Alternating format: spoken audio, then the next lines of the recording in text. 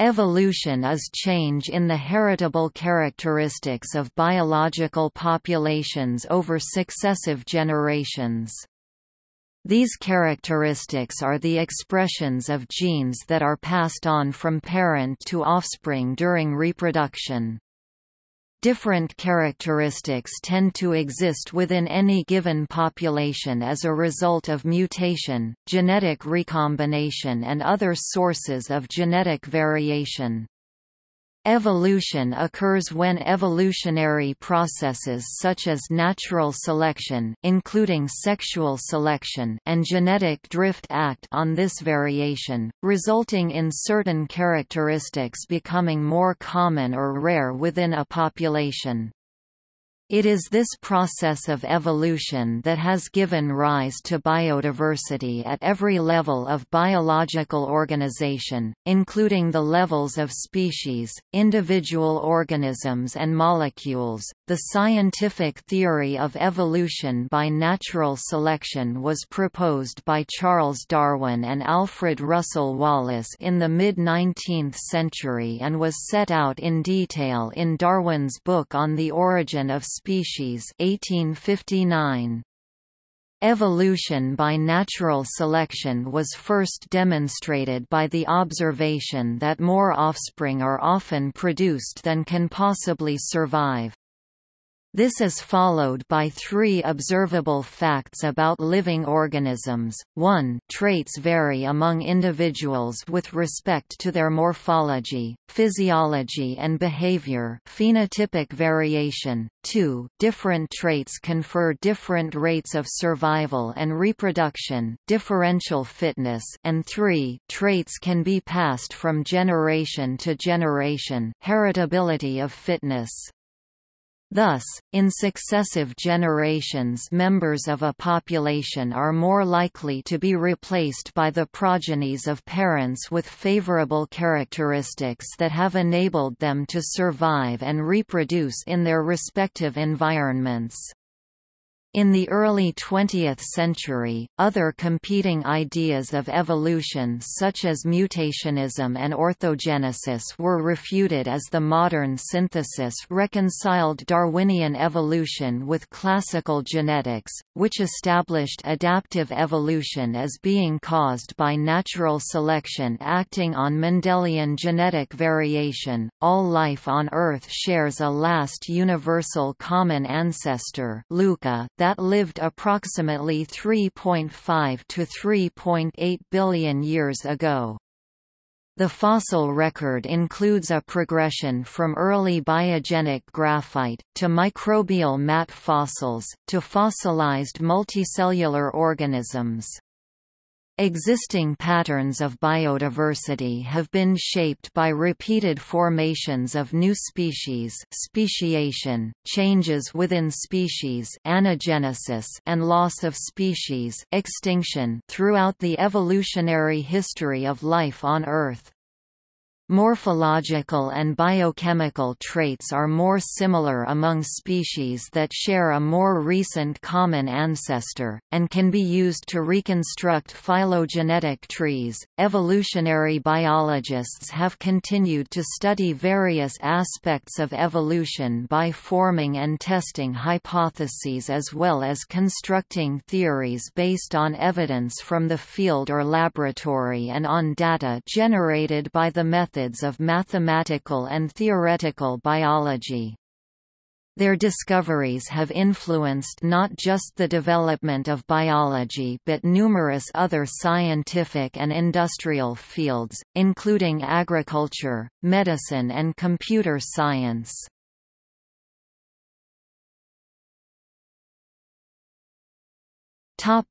History of evolutionary thought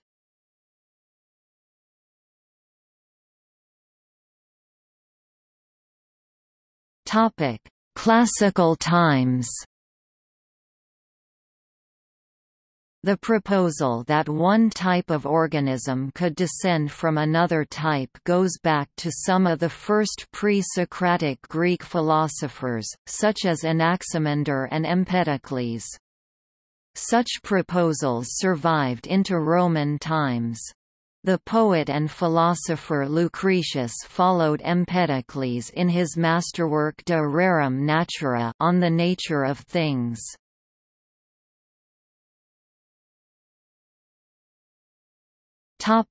Medieval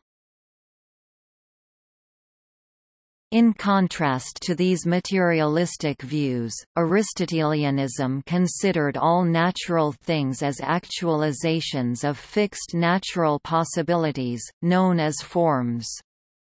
This was part of a medieval teleological understanding of nature in which all things have an intended role to play in a divine cosmic order. Variations of this idea became the standard understanding of the Middle Ages and were integrated into Christian learning, but Aristotle did not demand that real types of organisms always correspond one for one with exact metaphysical forms and specifically gave examples of how new types of living things could come to be.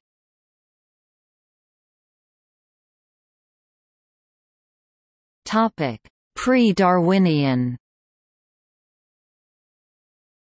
In the 17th century, the new method of modern science rejected the Aristotelian approach. It sought explanations of natural phenomena in terms of physical laws that were the same for all visible things and that did not require the existence of any fixed natural categories or divine cosmic order. However, this new approach was slow to take root in the biological sciences, the last bastion of the concept of fixed natural types. John Ray applied one of the previously more general terms for fixed natural types, species, to plant and animal types, but he strictly identified each type of living thing as a species and proposed that each species could be defined by the features that perpetuated themselves generation after generation. The biological classification introduced by Carl Linnaeus in 1735 explicitly recognized the hierarchical nature of species relationships, but still viewed species as fixed according to a divine plan. Other naturalists of this time speculated on the evolutionary change of species over time according to natural laws. In 1751, Pierre-Louis Maupertuis wrote of natural modifications occurring during reproduction and accumulating over many generations to produce new species. Georges-Louis Leclerc, Comte de Buffon suggested that species could degenerate into different organisms, and Erasmus Darwin proposed that all warm-blooded animals could have descended from a single microorganism or filament. The first full-fledged evolutionary scheme was Jean-Baptiste Lamarck's transmutation theory of 1809, which envisaged spontaneous generation continually producing simple forms of life that developed greater complexity in parallel lineages with an inherent progressive tendency, and postulated that on a local level, these lineages adapted to the environment by inheriting changes caused by their use or disuse in parents. The latter process was later called Lamarckism these ideas were condemned by established naturalists as speculation lacking empirical support. In particular, Georges Cuvier insisted that species were unrelated and fixed, their similarities reflecting divine design for functional needs. In the meantime, Ray's ideas of benevolent design had been developed by William Paley into the natural theology or evidences of the existence and attributes of the deity 1802, which proposed complex adaptations as evidence of divine design and which was admired by Charles Darwin.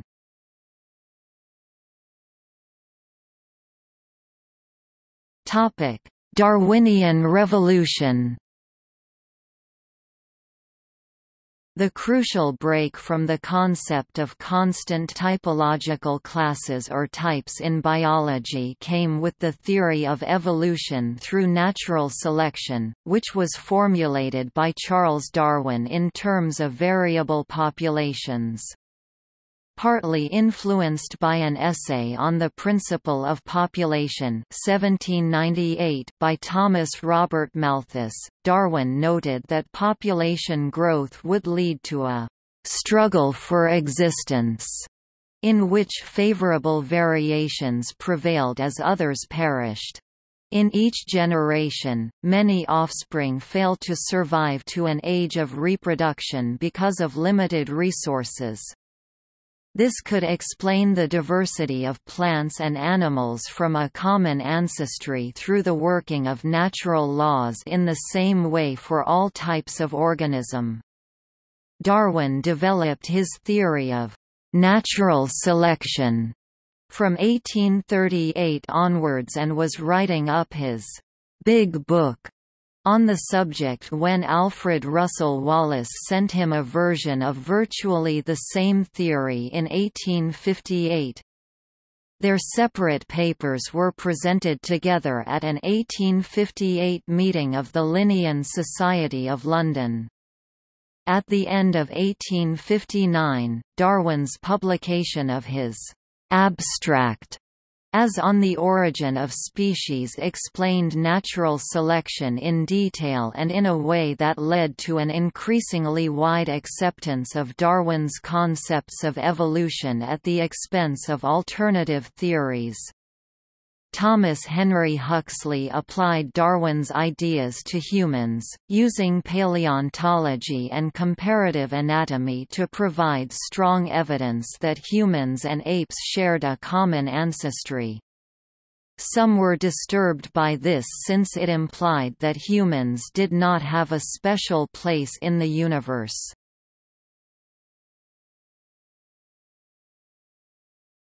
Topic: Pangenesis and heredity The mechanisms of reproductive heritability and the origin of new traits remained a mystery. Towards this end, Darwin developed his provisional theory of pangenesis.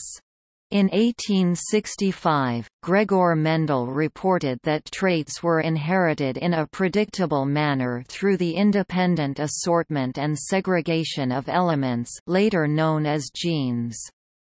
Mendel's laws of inheritance eventually supplanted most of Darwin's pangenesis theory.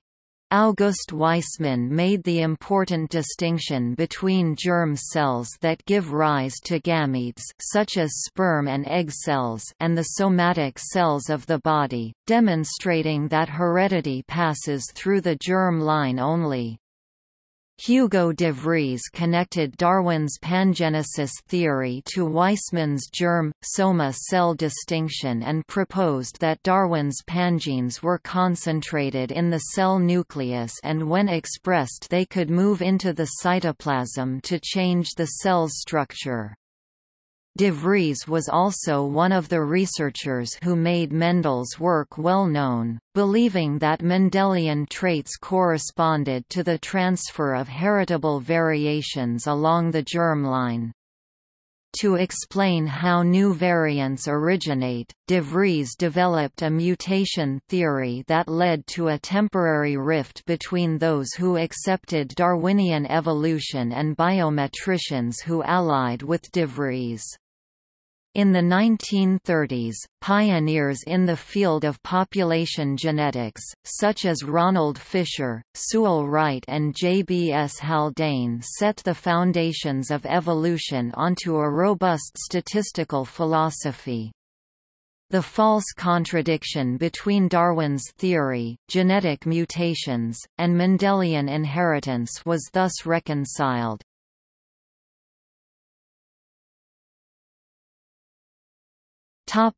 The modern synthesis In the 1920s and 1930s the so-called modern synthesis connected natural selection and population genetics, based on Mendelian inheritance, into a unified theory that applied generally to any branch of biology. The modern synthesis explained patterns observed across species in populations, through fossil transitions in paleontology, and complex cellular mechanisms in developmental biology. The publication of The Structure of DNA by James Watson and Francis Crick with contribution of Rosalind Franklin in 1953 demonstrated a physical mechanism for inheritance. Molecular biology improved understanding of the relationship between genotype and phenotype. Advancements were also made in phylogenetic systematics, mapping the transition of traits into a comparative and testable framework through the publication and use of evolutionary trees. In 1973, evolutionary biologist Theodosius Dobzhansky penned that, "...nothing in biology makes sense except in the light of evolution." Because it has brought to light the relations of what first seemed disjointed facts in natural history into a coherent explanatory body of knowledge that describes and predicts many observable facts about life on this planet.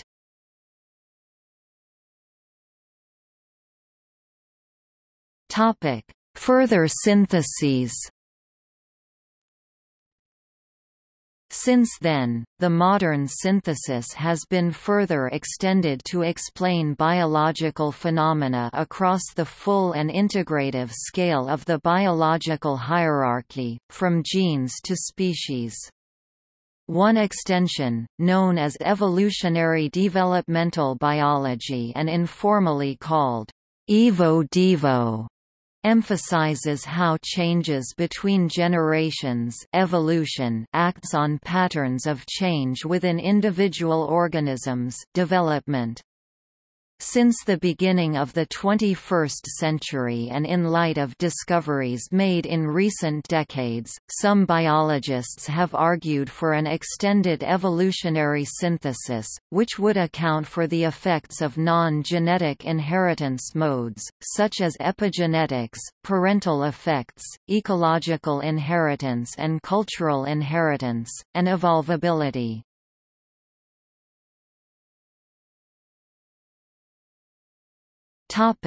Heredity.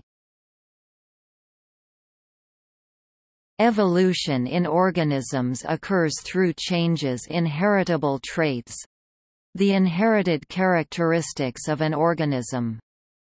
In humans, for example, eye color is an inherited characteristic and an individual might inherit the brown eye trait from one of their parents. Inherited traits are controlled by genes and the complete set of genes within an organism's genome genetic material is called its genotype, the complete set of observable traits that make up the structure and behavior of an organism is called its phenotype. These traits come from the interaction of its genotype with the environment. As a result, many aspects of an organism's phenotype are not inherited. For example, suntanned skin comes from the interaction between a person's genotype and sunlight, thus, suntans are not passed on to people's children. However, some people tan more easily than others, due to differences in genotypic variation. A striking example are people with the inherited trait of albinism, who do not tan at all and are very sensitive to sunburn. Heritable traits are passed from one generation to the next via DNA, a molecule that encodes genetic information. DNA is a long biopolymer composed of four types of bases. The sequence of bases along a particular DNA molecule specify the genetic information, in a manner similar to a sequence of letters spelling out a sentence. Before a cell divides, the DNA is copied, so that each of the resulting two cells will inherit the DNA sequence. Portions of a DNA molecule that specify a single functional unit are called genes. Different genes have different sequences of bases. Within cells, the long strands of DNA form condensed structures called chromosomes. The specific location of a DNA sequence within a chromosome is known as a locus. If the DNA sequence at a locus varies between individuals, the different forms of this sequence are called alleles. DNA sequences can change through mutations, producing new alleles. If a mutation occurs within a gene, the new allele may affect the trait that the gene controls, altering the phenotype of the organism. However, while this simple correspondence between an allele and a trait works in some cases, most traits are more complex and are controlled by quantitative trait loci, multiple interacting genes. Recent findings have confirmed important examples of heritable changes that cannot be explained by changes to the sequence of nucleotides in the DNA. These phenomena are classed as epigenetic inheritance systems. DNA methylation marking chromatin, self-sustaining metabolic loops, gene silencing by RNA interference and the three-dimensional conformation of proteins such as prions are areas where epigenetic inheritance systems have been discovered at the organismic level. Developmental biologists suggest that complex interactions in genetic networks and communication among cells can lead to heritable variations that may underlay some of the mechanics in developmental plasticity and canalization. Heritability may also occur at even larger scales. For example, ecological inheritance through the process of niche construction is defined by the regular and repeated activities of organisms in their environment. This generates a legacy of effects that modify and feed back into the selection regime of subsequent generations. Descendants inherit genes plus environmental characteristics generated by the ecological actions of ancestors. Other examples of heritability in evolution that are not under the direct control of genes include the inheritance of cultural traits and symbiogenesis.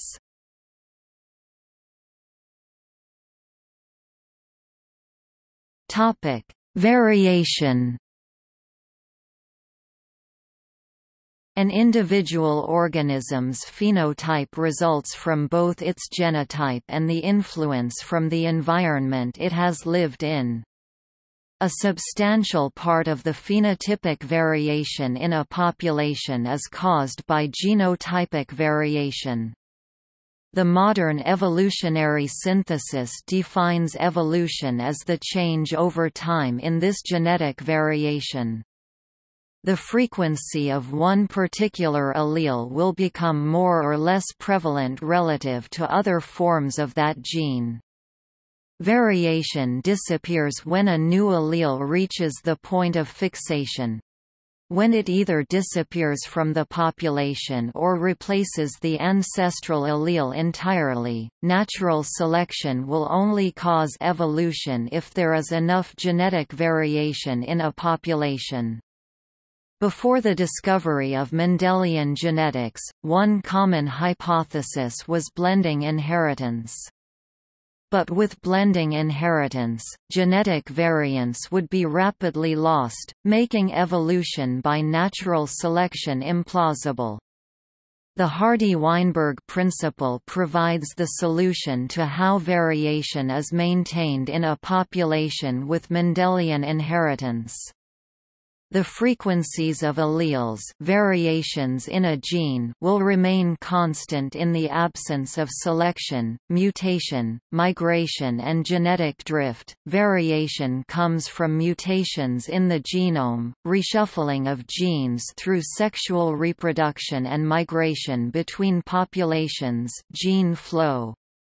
Despite the constant introduction of new variation through mutation and gene flow, most of the genome of a species is identical in all individuals of that species. However, even relatively small differences in genotype can lead to dramatic differences in phenotype, for example, chimpanzees and humans differ in only about 5% of their genomes.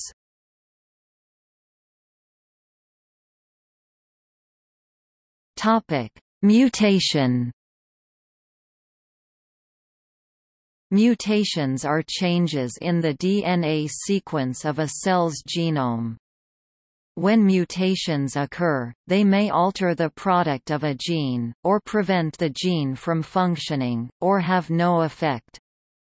Based on studies in the fly Drosophila melanogaster, it has been suggested that if a mutation changes a protein produced by a gene, this will probably be harmful, with about 70% of these mutations having damaging effects, and the remainder being either neutral or weakly beneficial. Mutations can involve large sections of a chromosome becoming duplicated, usually by genetic recombination recombination, which can introduce extra copies of a gene into a genome.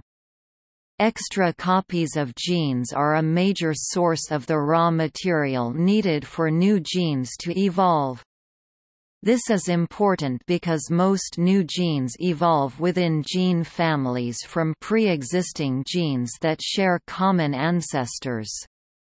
For example, the human eye uses four genes to make structures that sense light, three for color vision and one for night vision. All four are descended from a single ancestral gene. New genes can be generated from an ancestral gene when a duplicate copy mutates and acquires a new function.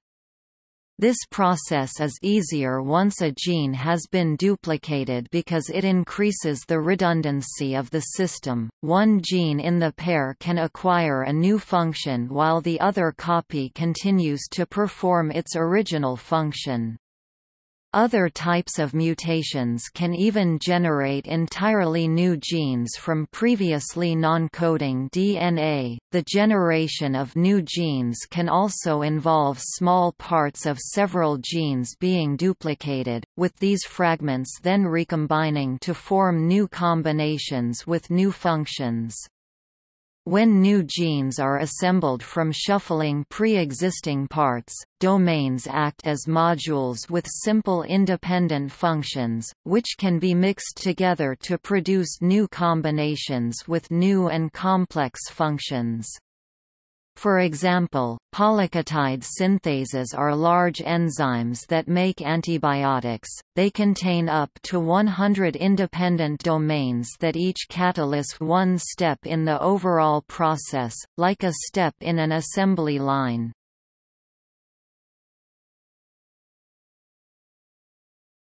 Topic: Sex and recombination. In asexual organisms, genes are inherited together, or linked, as they cannot mix with genes of other organisms during reproduction. In contrast, the offspring of sexual organisms contain random mixtures of their parents' chromosomes that are produced through independent assortment. In a related process called homologous recombination, sexual organisms exchange DNA between two matching chromosomes. Recombination and reassortment do not alter allele frequencies, but instead change which alleles are associated with each other, producing offspring with new combinations of alleles.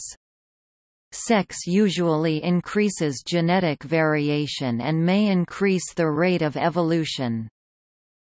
The two-fold cost of sex was first described by John Maynard Smith, the first cost is that in sexually dimorphic species only one of the two sexes can bear young. This cost does not apply to hermaphroditic species, like most plants and many invertebrates. The second cost is that any individual who reproduces sexually can only pass on 50% of its genes to any individual offspring, with even less passed on as each new generation passes. Yet sexual reproduction is the more common means of reproduction among eukaryotes and multicellular organisms. The Red Queen hypothesis has been used to explain the significance of sexual reproduction as a means to enable continual evolution and adaptation in response to coevolution with other species in an ever-changing environment.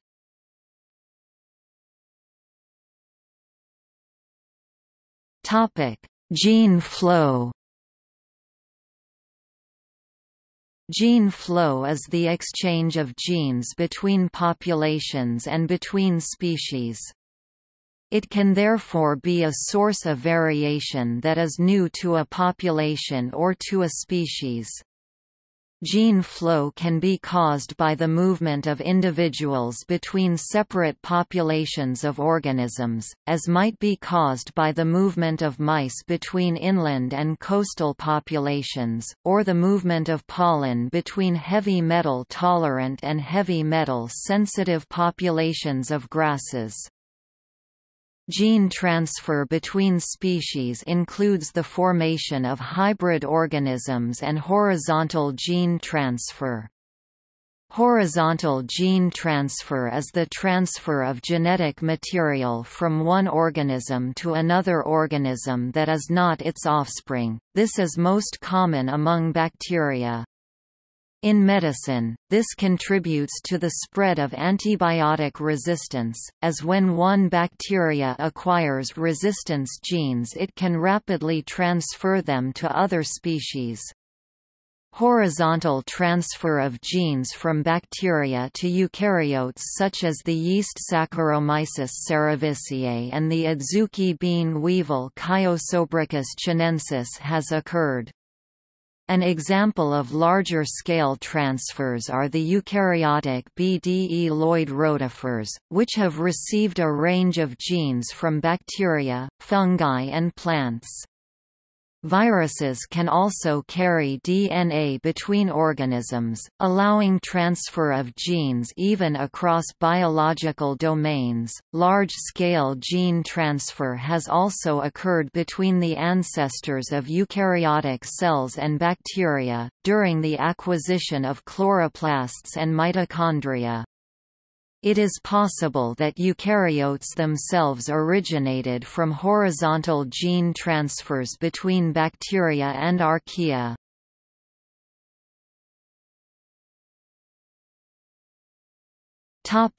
Mechanisms From a neo-Darwinian perspective, evolution occurs when there are changes in the frequencies of alleles within a population of interbreeding organisms, for example, the allele for black color in a population of moths becoming more common. Mechanisms that can lead to changes in allele frequencies include natural selection, genetic drift, genetic hitchhiking, mutation and gene flow.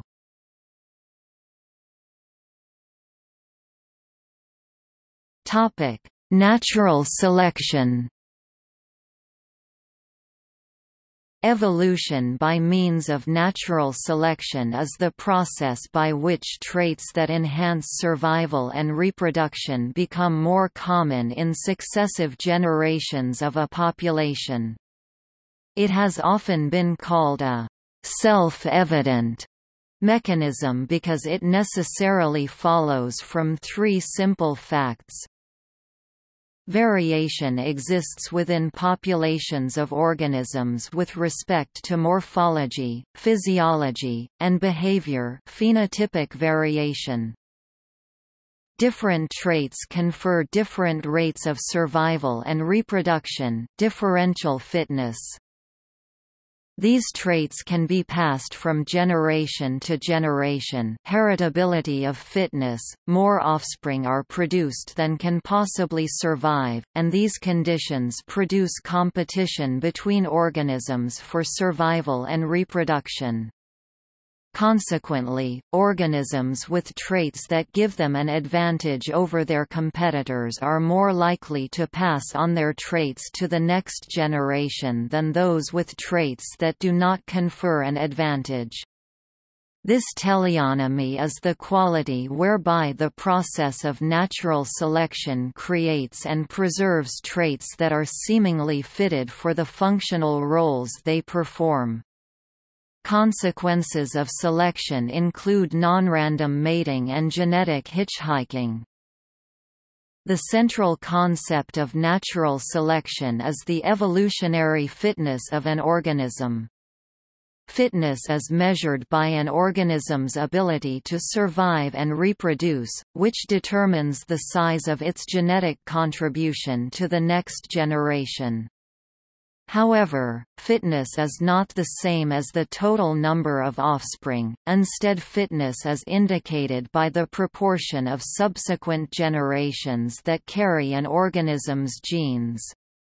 For example, if an organism could survive well and reproduce rapidly, but its offspring were all too small and weak to survive, this organism would make little genetic contribution to future generations and would thus have low fitness. If an allele increases fitness more than the other alleles of that gene, then with each generation this allele will become more common within the population.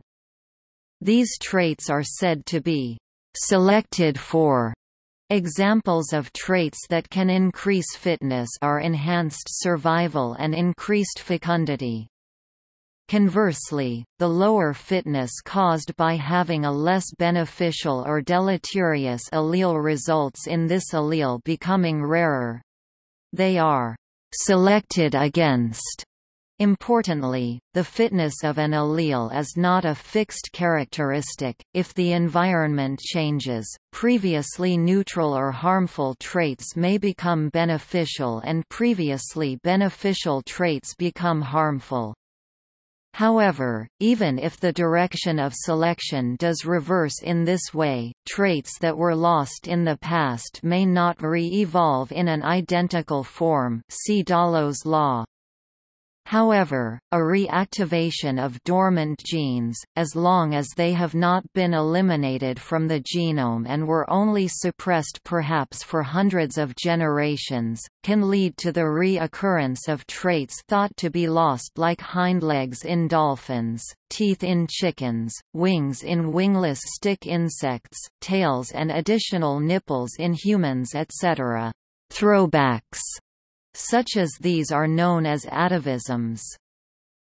Natural selection within a population for a trait that can vary across a range of values, such as height, can be categorized into three different types. The first is directional selection, which is a shift in the average value of a trait over time. For example, organisms slowly getting taller, Secondly, disruptive selection is selection for extreme trait values and often results in two different values becoming most common, with selection against the average value. This would be when either short or tall organisms had an advantage, but not those of medium height, Finally, in stabilizing selection there is selection against extreme trait values on both ends, which causes a decrease in variance around the average value and less diversity. This would, for example, cause organisms to eventually have a similar height, a special case of natural selection is sexual selection, which is selection for any trait that increases mating success by increasing the attractiveness of an organism to potential mates. Traits that evolved through sexual selection are particularly prominent among males of several animal species. Although sexually favored, traits such as cumbersome antlers, mating calls, large body size and bright colors often attract predation, which compromises the survival of individual males. This survival disadvantage is balanced by higher reproductive success in males that show these hard to fake, sexually selected traits. Natural selection most generally makes nature the measure against which individuals and individual traits are more or less likely to survive. Nature in this sense refers to an ecosystem, that is, a system in which organisms interact with every other element, physical as well as biological, in their local environment. Eugene Odum, a founder of ecology, defined an ecosystem as any unit that includes all of the organisms, less than pre greater than slash pre greater than dot dot dot in a given area interacting with the physical environment so that a flow of energy leads to clearly defined trophic structure biotic diversity, and material cycles i.e., exchange of materials between living and non-living parts within the system. Each population within an ecosystem occupies a distinct niche, or position, with distinct relationships to other parts of the system. These relationships involve the life history of the organism, its position in the food chain and its geographic range. This broad understanding of nature enables scientists to delineate specific forces which, together, comprise natural selection. Natural selection can act at different levels of organization, such as genes, cells, individual organisms, groups of organisms and species. Selection can act at multiple levels simultaneously. An example of selection occurring below the level of the individual organism are genes called transposons, which can replicate and spread throughout a genome. Selection at a level above the individual, such as group selection, may allow the evolution of cooperation, as discussed below.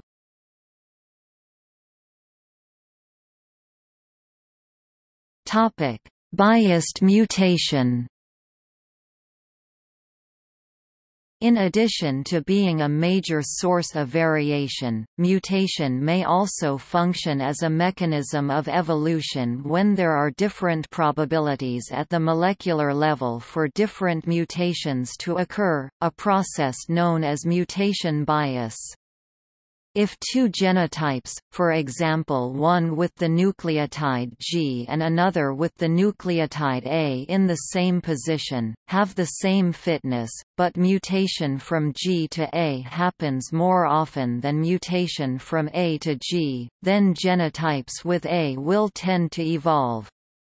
Different insertion versus deletion mutation biases in different taxa can lead to the evolution of different genome sizes. Developmental or mutational biases have also been observed in morphological evolution. For example, according to the phenotype-first theory of evolution, mutations can eventually cause the genetic assimilation of traits that were previously induced by the environment. Mutation bias effects are superimposed on other processes. If selection would favor either one out of two mutations, but there is no extra advantage to having both, then the mutation that occurs the most frequently is the one that is most likely to become fixed in a population.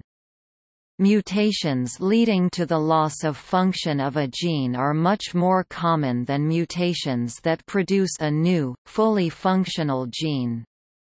Most loss-of-function mutations are selected against. but when selection is weak, mutation bias towards loss of function can affect evolution. For example, pigments are no longer useful when animals live in the darkness of caves, and tend to be lost. This kind of loss of function can occur because of mutation bias, and or because the function had a cost, and once the benefit of the function disappeared, natural selection leads to the loss. Loss of sporulation ability in Bacillus subtilis during laboratory evolution appears to have been caused by mutation bias, rather than natural selection against the cost of maintaining sporulation ability. When there is no selection for loss of function, the speed at which loss evolves depends more on the mutation rate than it does on the effective population size, indicating that it is driven more by mutation bias than by genetic drift. In parasitic organisms, mutation bias leads to selection pressures as seen in Ehrlichia. Mutations are biased towards antigenic variants in outer membrane proteins.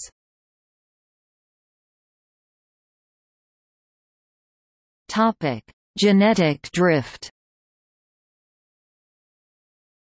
Genetic drift is the random fluctuations of allele frequencies within a population from one generation to the next. When selective forces are absent or relatively weak, allele frequencies are equally likely to drift upward or downward at each successive generation because the alleles are subject to sampling error. This drift halts when an allele eventually becomes fixed, either by disappearing from the population or replacing the other alleles entirely.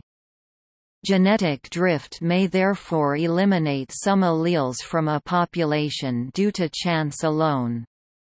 Even in the absence of selective forces, genetic drift can cause two separate populations that began with the same genetic structure to drift apart into two divergent populations with different sets of alleles. The neutral theory of molecular evolution proposed that most evolutionary changes are the result of the fixation of neutral mutations by genetic drift.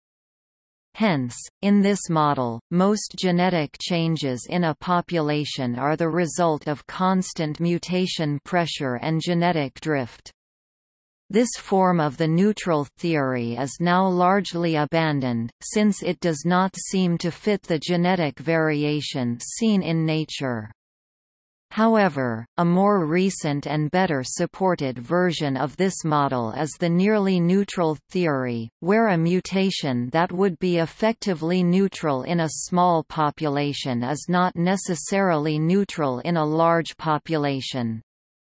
Other alternative theories propose that genetic drift is dwarfed by other stochastic forces in evolution, such as genetic hitchhiking, also known as genetic draft. The time for a neutral allele to become fixed by genetic drift depends on population size, with fixation occurring more rapidly in smaller populations.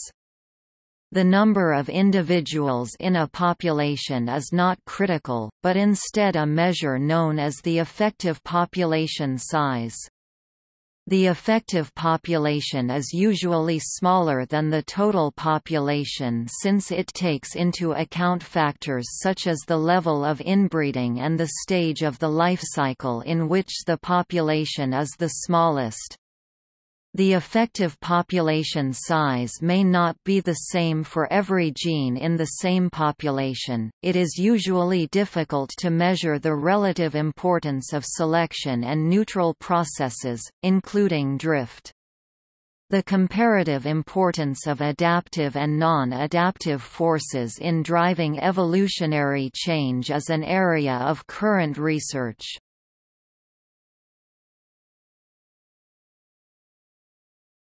Topic: Genetic hitchhiking. Recombination allows alleles on the same strand of DNA to become separated. However, the rate of recombination is low approximately two events per chromosome per generation. As a result, genes close together on a chromosome may not always be shuffled away from each other and genes that are close together tend to be inherited together, a phenomenon known as linkage. This tendency is measured by finding how often two alleles occur together on a single chromosome compared to expectations, which is called their linkage disequilibrium. A set of alleles that is usually inherited in a group is called a haplotype. This can be important when one allele in a particular haplotype is strongly beneficial. Natural selection can drive a selective sweep that will also cause the other alleles in the haplotype to become more common in the population. This effect is called genetic hitchhiking or genetic draft. Genetic draft caused by the fact that some neutral genes are genetically linked to others that are under selection can be partially captured by an appropriate effective population size.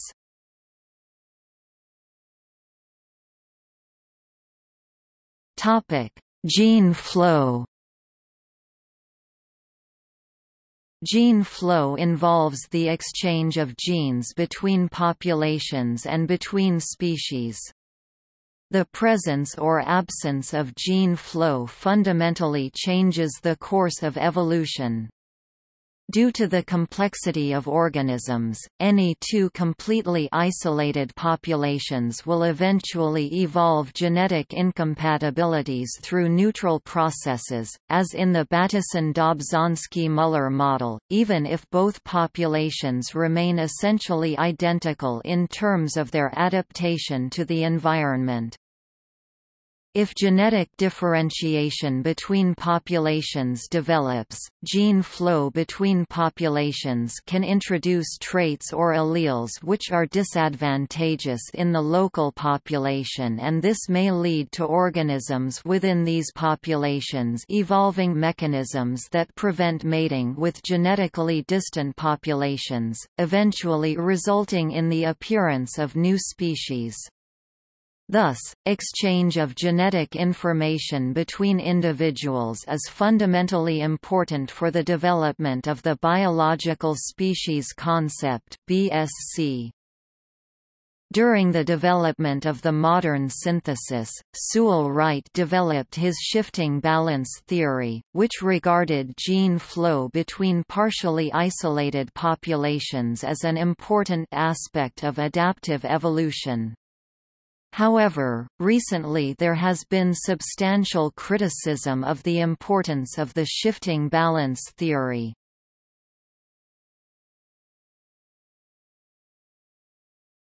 Topic: Outcomes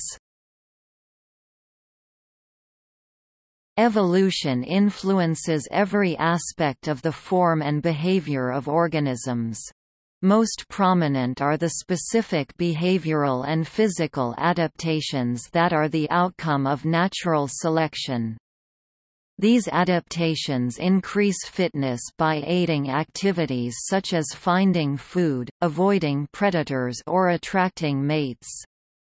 Organisms can also respond to selection by cooperating with each other, usually by aiding their relatives or engaging in mutually beneficial symbiosis. In the longer term, evolution produces new species through splitting ancestral populations of organisms into new groups that cannot or will not interbreed. These outcomes of evolution are distinguished based on time scale as macroevolution versus microevolution. Macroevolution refers to evolution that occurs at or above the level of species, in particular speciation and extinction, whereas microevolution refers to smaller evolutionary changes within a species or population, in particular shifts in allele frequency and adaptation. In general, macroevolution is regarded as the outcome of long periods of microevolution.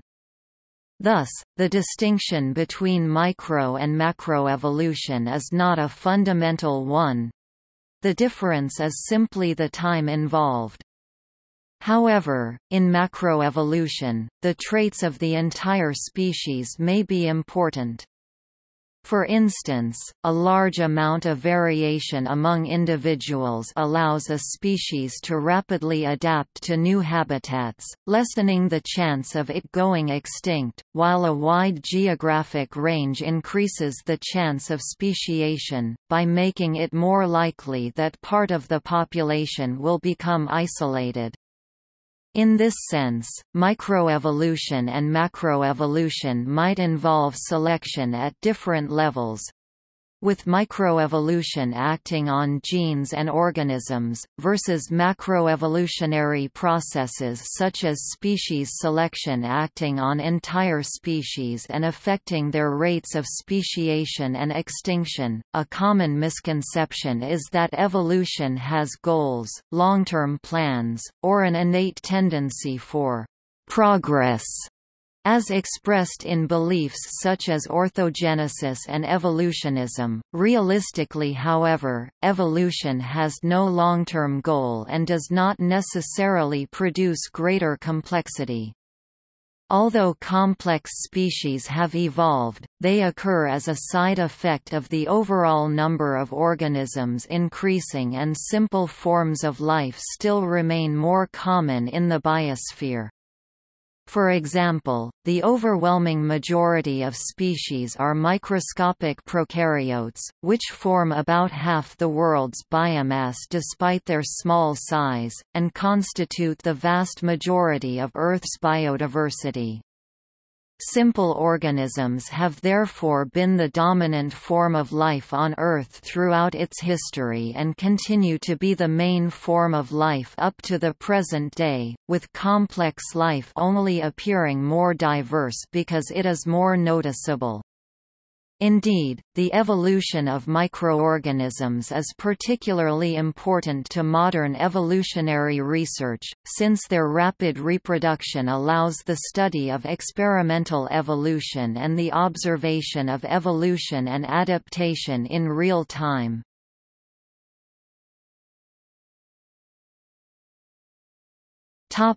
Adaptation Adaptation is the process that makes organisms better suited to their habitat. Also, the term adaptation may refer to a trait that is important for an organism's survival. For example, the adaptation of horses' teeth to the grinding of grass. By using the term adaptation for the evolutionary process and adaptive trait for the product the bodily part or function, the two senses of the word may be distinguished. Adaptations are produced by natural selection. The following definitions are due to Theodosius Dobzhansky, Adaptation is the evolutionary process whereby an organism becomes better able to live in its habitat or habitats. Adaptedness is the state of being adapted, the degree to which an organism is able to live and reproduce in a given set of habitats. An adaptive trait is an aspect of the developmental pattern of the organism which enables or enhances the probability of that organism surviving and reproducing. Adaptation may cause either the gain of a new feature, or the loss of an ancestral feature.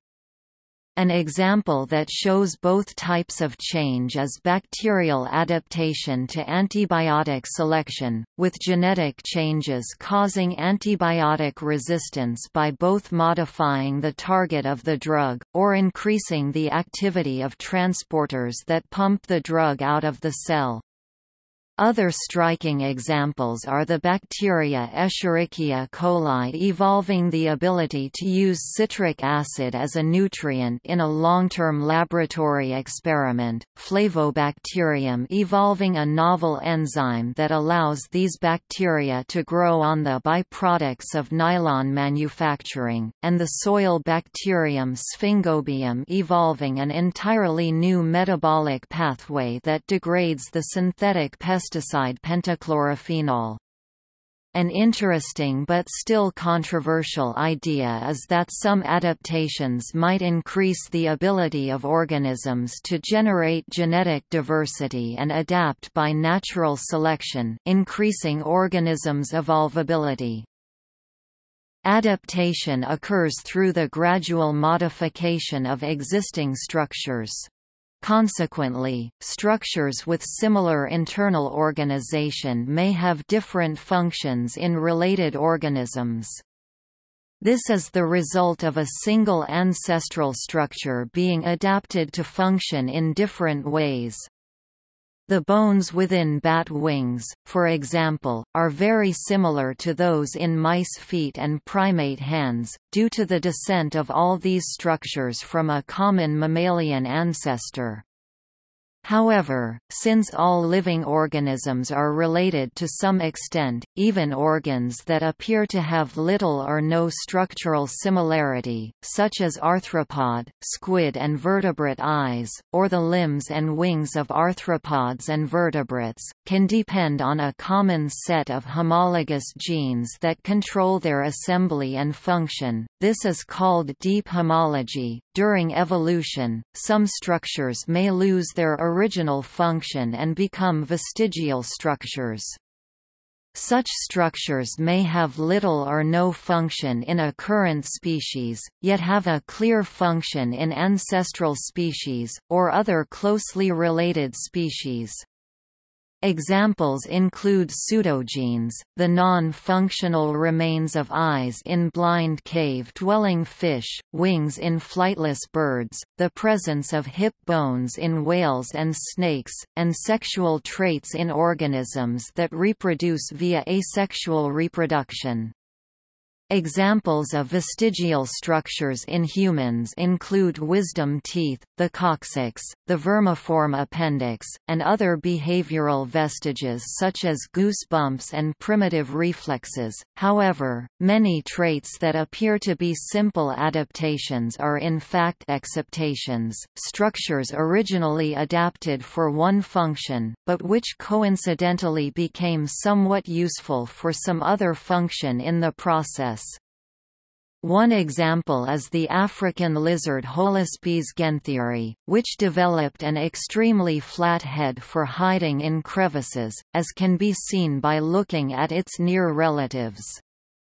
However, in this species, the head has become so flattened that it assists in gliding from tree to tree—an exaptation.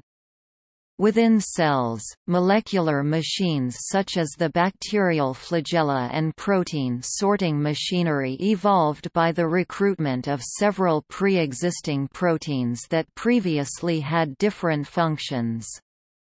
Another example is the recruitment of enzymes from glycolysis and xenobiotic metabolism to serve as structural proteins called crystallins within the lenses of organisms' eyes, an area of current investigation in evolutionary developmental biology is the developmental basis of adaptations and exaptations. This research addresses the origin and evolution of embryonic development and how modifications of development and developmental processes produce novel features.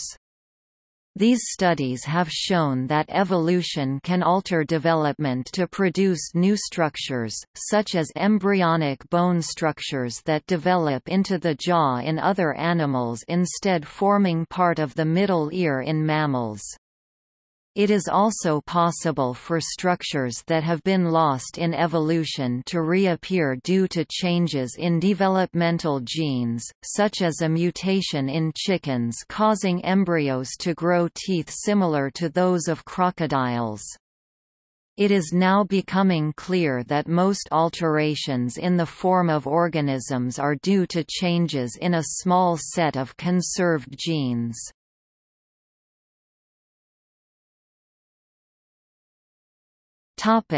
Coevolution Interactions between organisms can produce both conflict and cooperation. When the interaction is between pairs of species, such as a pathogen and a host, or a predator and its prey, these species can develop matched sets of adaptations. Here, the evolution of one species causes adaptations in a second species. These changes in the second species then, in turn, cause new adaptations in the first species. This cycle of selection and response is called coevolution. An example is the production of tetrodotoxin in the rough-skinned newt and the evolution of tetrodotoxin resistance in its predator, the common garter snake. In this predator-prey pair, an evolutionary arms race has produced high levels of toxin in the newt and correspondingly high levels of toxin resistance in the snake.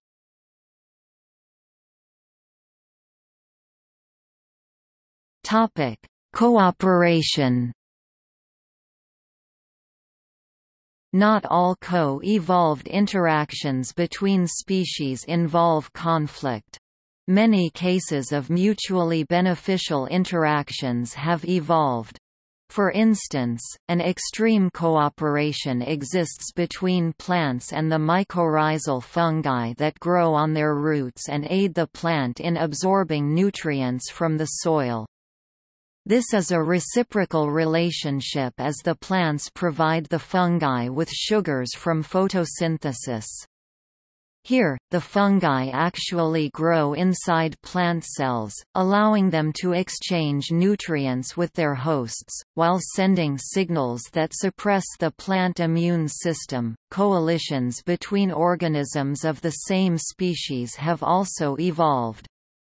An extreme case is the eusociality found in social insects, such as bees, termites and ants, where sterile insects feed and guard the small number of organisms in a colony that are able to reproduce.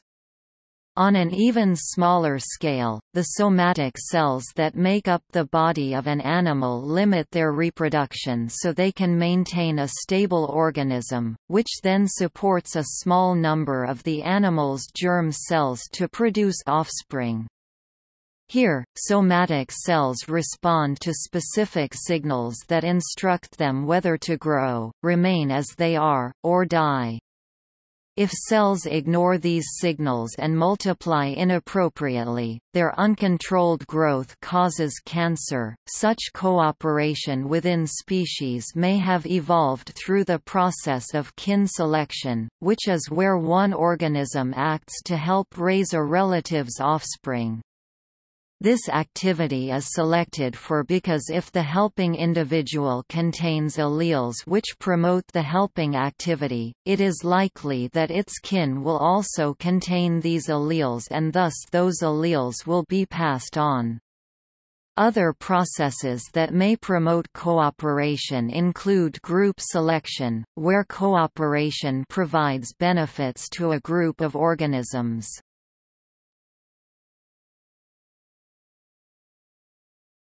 Topic: Speciation. Speciation is the process where a species diverges into two or more descendant species. There are multiple ways to define the concept of species. The choice of definition is dependent on the particularities of the species concerned. For example, some species concepts apply more readily towards sexually reproducing organisms while others lend themselves better toward asexual organisms. Despite the diversity of various species concepts, these various concepts can be placed into one of three broad philosophical approaches, interbreeding, ecological and phylogenetic. The biological species concept BSC is a classic example of the interbreeding approach. Defined by evolutionary biologist Ernst Mayr in 1942, the BSC states that Species are groups of actually or potentially interbreeding natural populations, which are reproductively isolated from other such groups. Despite its wide and long-term use, the BSC like others is not without controversy, for example because these concepts cannot be applied to prokaryotes, and this is called the species problem.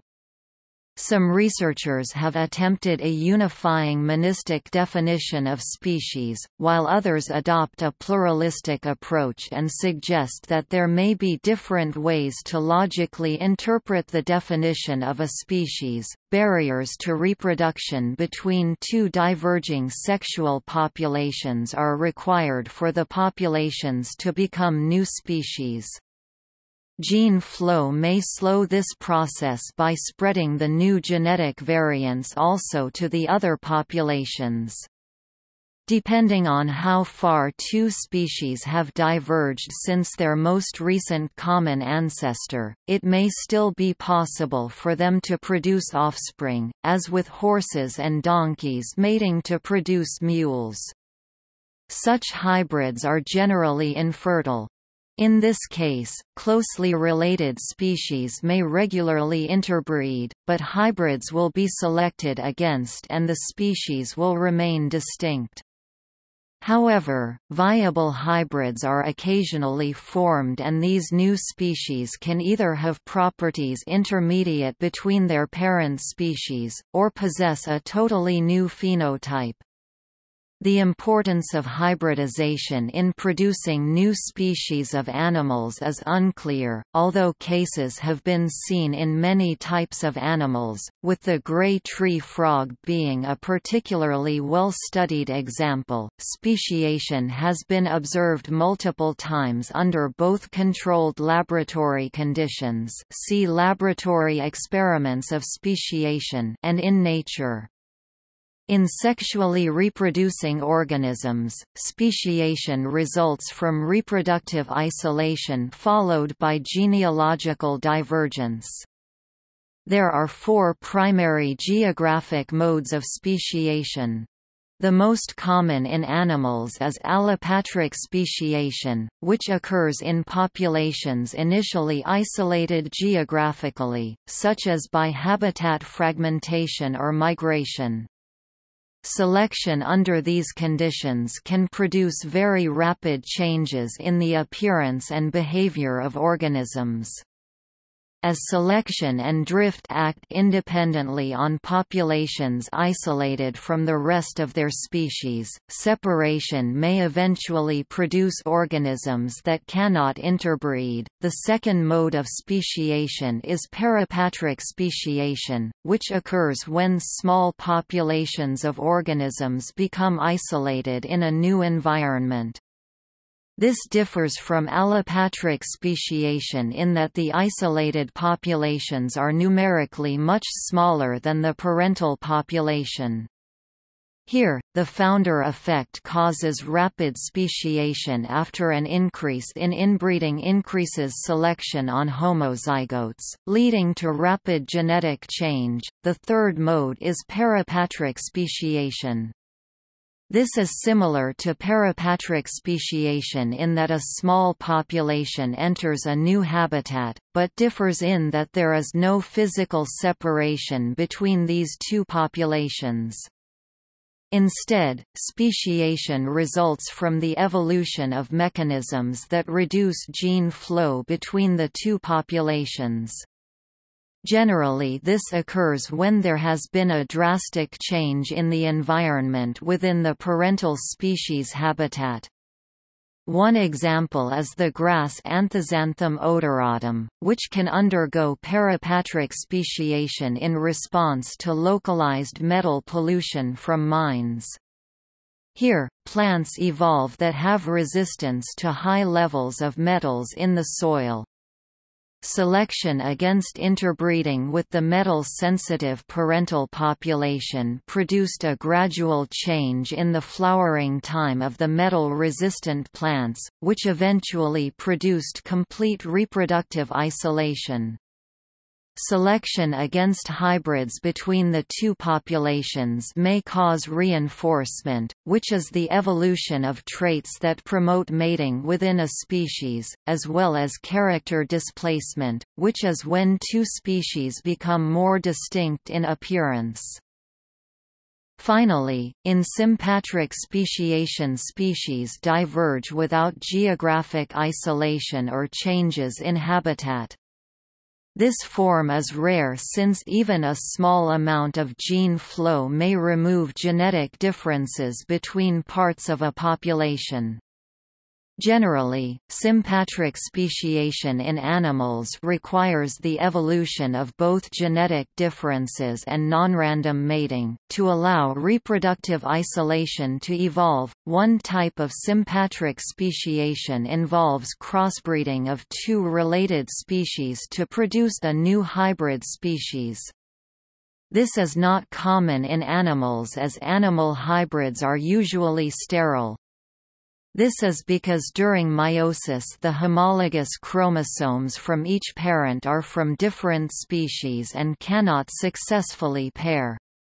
However, it is more common in plants because plants often double their number of chromosomes, to form polyploids.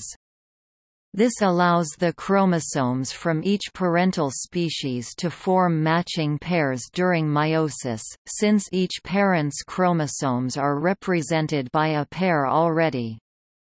An example of such a speciation event is when the plant species Arabidopsis thaliana and Arabidopsis arenosa crossbred to give the new species Arabidopsis suecica. This happened about 20,000 years ago, and the speciation process has been repeated in the laboratory, which allows the study of the genetic mechanisms involved in this process.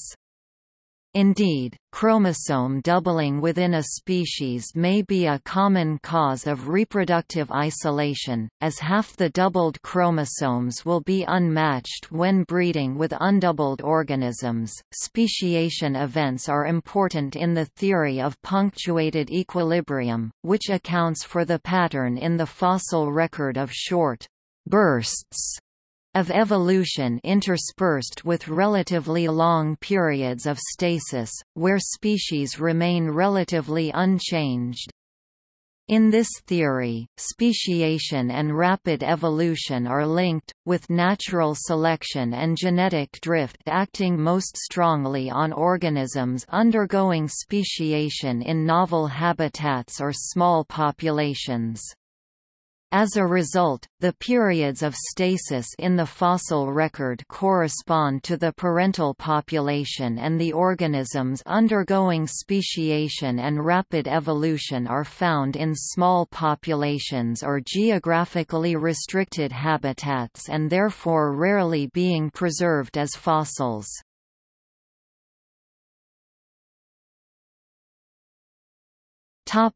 Extinction Extinction is the disappearance of an entire species. Extinction is not an unusual event, as species regularly appear through speciation and disappear through extinction. Nearly all animal and plant species that have lived on Earth are now extinct, and extinction appears to be the ultimate fate of all species. These extinctions have happened continuously throughout the history of life, although the rate of extinction spikes in occasional mass extinction events. The Cretaceous-Paleogene extinction event, during which the non-avian dinosaurs became extinct, is the most well-known, but the earlier Permian-Triassic extinction event was even more severe, with approximately 96% of all marine species driven to extinction.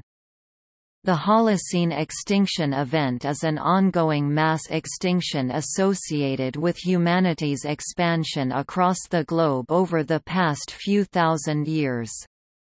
Present-day extinction rates are 100 1000 times greater than the background rate and up to 30% of current species may be extinct by the mid-21st century. Human activities are now the primary cause of the ongoing extinction event. Global warming may further accelerate it in the future. Despite the estimated extinction of more than 99% of all species that ever lived on Earth, about 1 trillion species are estimated to be on Earth currently with only one thousandth of 1% described. The role of extinction in evolution is not very well understood and may depend on which type of extinction is considered. The causes of the continuous low-level Extinction events, which form the majority of extinctions, may be the result of competition between species for limited resources the competitive exclusion principle. If one species can outcompete another, this could produce species selection, with the fitter species surviving and the other species being driven to extinction. The intermittent mass extinctions are also important, but instead of acting as a selective force, they drastically reduce diversity in a nonspecific manner and promote bursts of rapid evolution and speciation in survivors.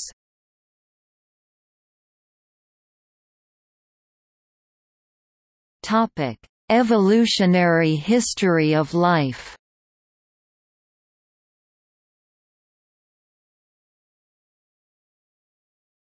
Topic: Origin of life.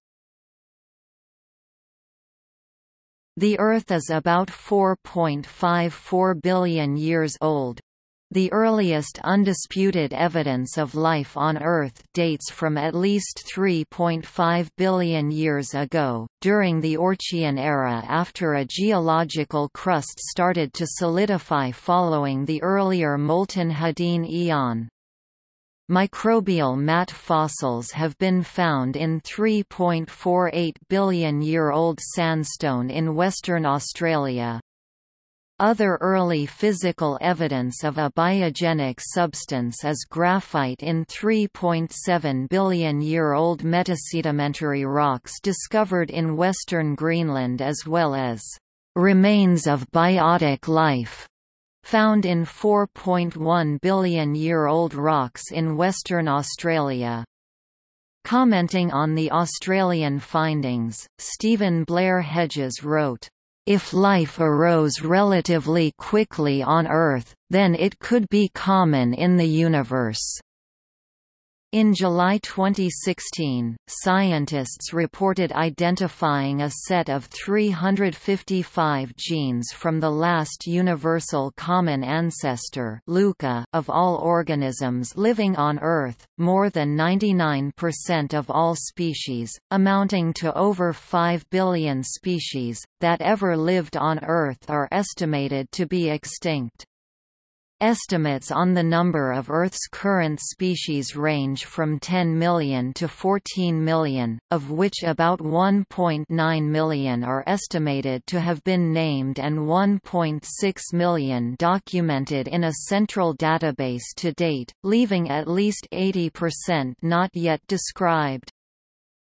Highly energetic chemistry is thought to have produced a self-replicating molecule around 4 billion years ago, and half a billion years later the last common ancestor of all life existed. The current scientific consensus is that the complex biochemistry that makes up life came from simpler chemical reactions. The beginning of life may have included self-replicating molecules such as RNA and the assembly of simple cells.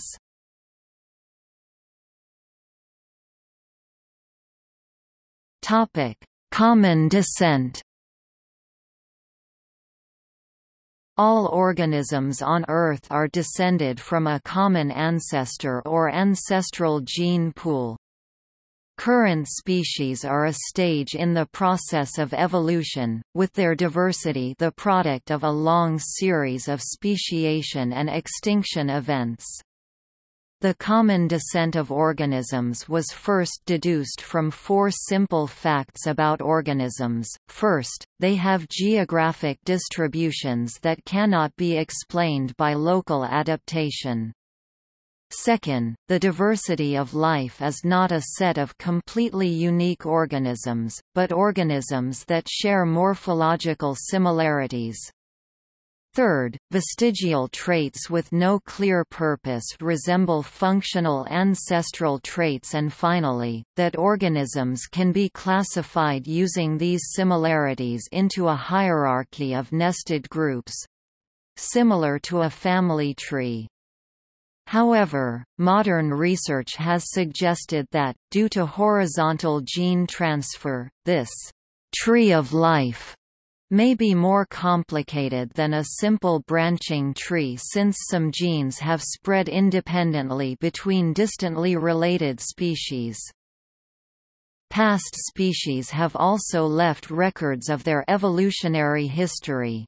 Fossils, along with the comparative anatomy of present-day organisms, constitute the morphological, or anatomical, record.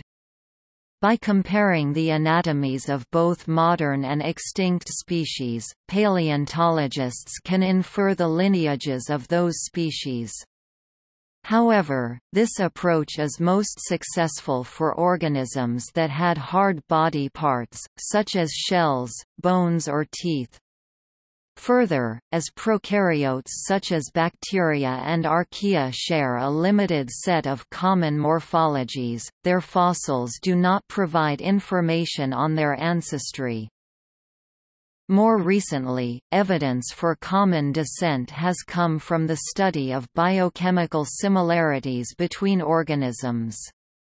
For example, all living cells use the same basic set of nucleotides and amino acids. The development of molecular genetics has revealed the record of evolution left in organisms' genomes, dating when species diverged through the molecular clock produced by mutations. For example, these DNA sequence comparisons have revealed that humans and chimpanzees share 98% of their genomes and analyzing the few areas where they differ helps shed light on when the common ancestor of these species existed.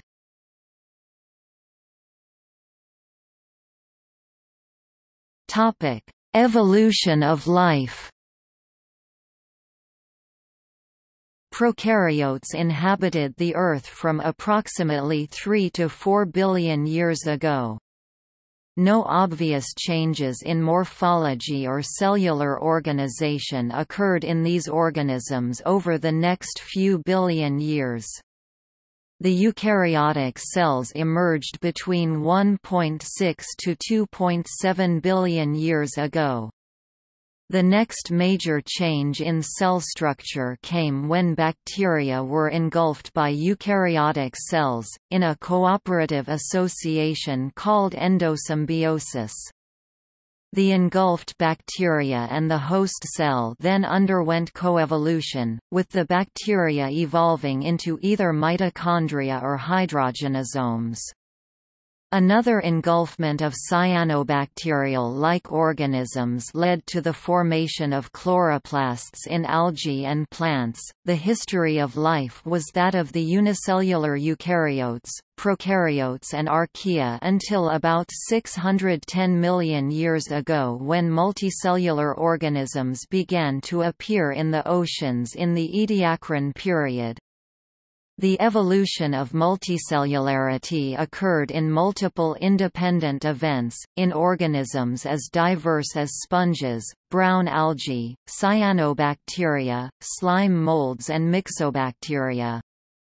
In January 2016, scientists reported that, about 800 million years ago, a minor genetic change in a single molecule called GKPID may have allowed organisms to go from a single-cell organism to one of many cells. Soon after the emergence of these first multicellular organisms, a remarkable amount of biological diversity appeared over approximately 10 million years, in an event called the Cambrian explosion.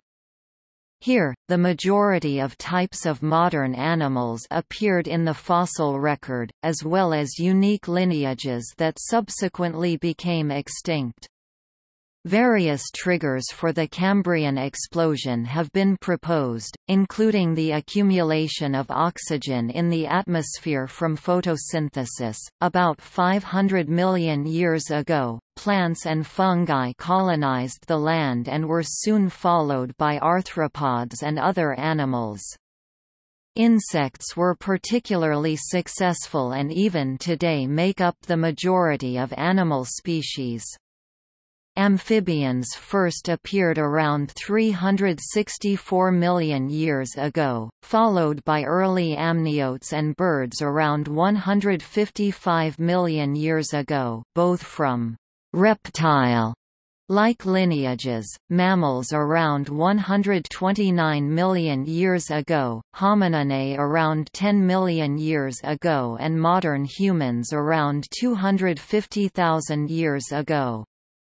However, despite the evolution of these large animals, smaller organisms similar to the types that evolved early in this process continue to be highly successful and dominate the Earth, with the majority of both biomass and species being prokaryotes.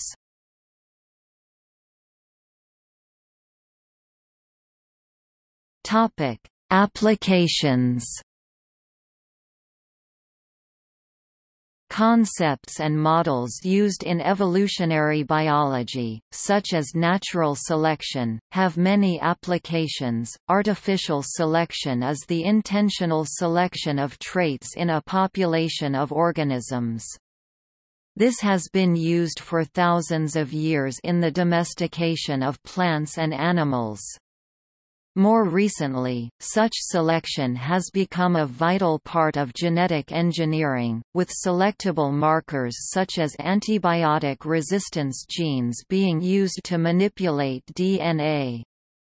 Proteins with valuable properties have evolved by repeated rounds of mutation and selection for example modified enzymes and new antibodies in a process called directed evolution. Understanding the changes that have occurred during an organism's evolution can reveal the genes needed to construct parts of the body, genes which may be involved in human genetic disorders. For example, the Mexican tetra is an albino cavefish that lost its eyesight during evolution. Breeding together different populations of this blind fish produced some offspring with functional eyes, since different mutations had occurred in the isolated populations that had evolved in different caves. This helped identify genes required for vision and pigmentation. Evolutionary theory has many applications in medicine.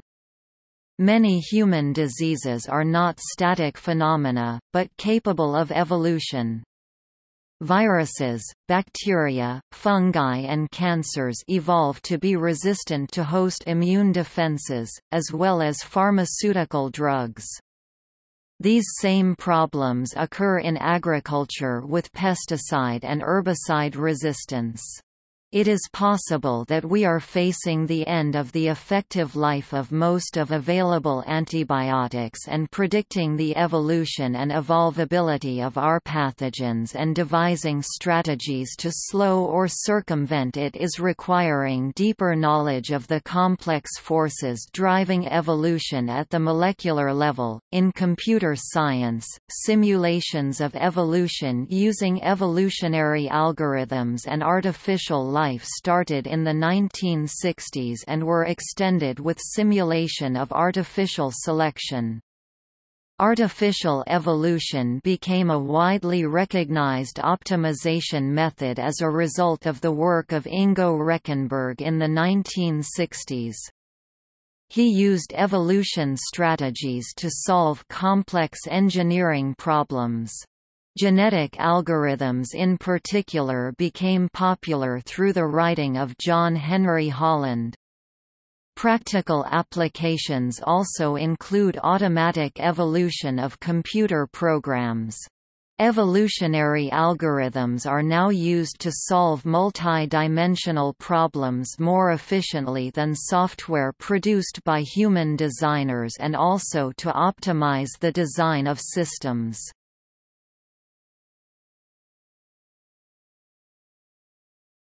Topic: Social and cultural responses.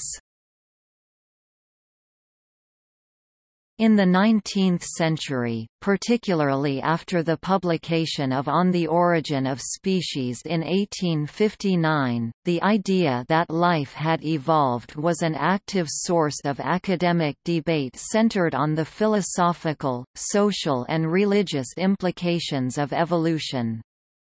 Today, the modern evolutionary synthesis is accepted by a vast majority of scientists. However, evolution remains a contentious concept for some theists, while various religions and denominations have reconciled their beliefs with evolution through concepts such as theistic evolution. There are creationists who believe that evolution is contradicted by the creation myths found in their religions and who raise various objections to evolution. As had been demonstrated by responses to the publication of Vestiges of the Natural History of Creation in 1844, the most controversial aspect of evolutionary biology is the implication of human evolution that humans share common ancestry with apes and that the mental and moral faculties of humanity have the same types of natural causes as other inherited traits in animals. In some countries, notably the United States, these tensions between science and religion have fueled the current creation-evolution controversy, a religious conflict focusing on politics and public education. While other scientific fields such as cosmology and earth science also conflict with literal interpretations of many religious texts, evolutionary biology experiences significantly more opposition from religious literalists. The teaching of evolution in American secondary school biology classes was uncommon in most of the first half of the 20th century. The Scopes trial decision of 1925 caused the subject to become very rare in American secondary biology textbooks for a generation, but it was gradually reintroduced later and became legally protected with the 1968 Epperson v. Arkansas decision. Since then, the competing religious belief of creationism was legally disallowed in secondary school curricula in various decisions in the 1970s and 1980s, but it returned in pseudoscientific form as intelligent design (ID) to be excluded once again in the 2005 Kitzmiller v. Dover Area School District case. See also